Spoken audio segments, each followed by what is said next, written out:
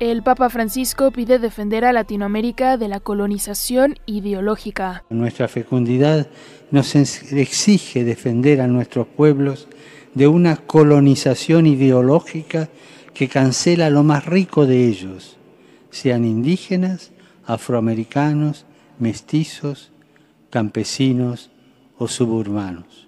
El Papa se expresó en estos términos durante la misa que ofició en la Basílica de San Pedro del Vaticano, en honor a la Virgen de Guadalupe, patrona de México.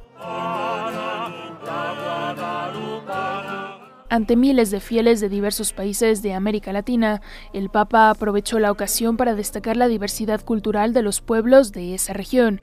Por caminos de justicia y de paz. Aseguró que esta riqueza hay que defenderla de todo intento homogeneizador que termine imponiendo, dijo, bajo eslóganes atrayentes, una única manera de pensar, de ser, de sentir o de vivir.